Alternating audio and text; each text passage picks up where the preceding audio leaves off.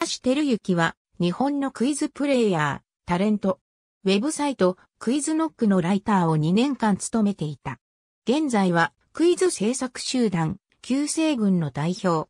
愛称は東大王出演時の後藤にちなみ、MC のヒロミに命名された、ジャスコ、ジャスコ林。渡辺エンターテインメント所属。富山県滑川市出身。片山学園中学校、高等学校を卒業後、東京大学に進学し、2021年3月に東京大学文学部を卒業。在学中は東京大学クイズ研究会に所属していた。2019年4月3日放送の東大王に新メンバー候補として初出演。同年7月31日の放送をもって東大王チームの正規メンバーとなり、2020年1月1日には自身のツイッターにて同日付で渡辺エンターテインメントに所属したことを発表。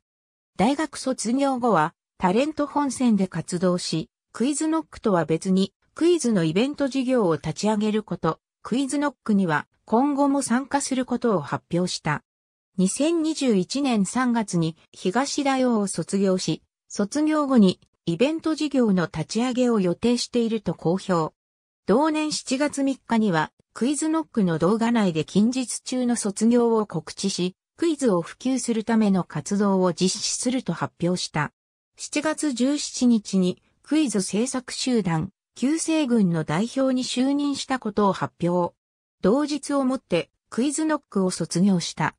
小学3から4年生の頃には IQ サプリを視聴しており、小学5年生の頃に初めて高校生クイズを視聴し、クイズに興味を持つ。中3の頃にクイズ研究会を作りたいと思い始め、高1の頃にクイズ研究会を設立した。また、クイズアプリ、みんなで早押しクイズで全ユーザーの中で1位になった経験がある。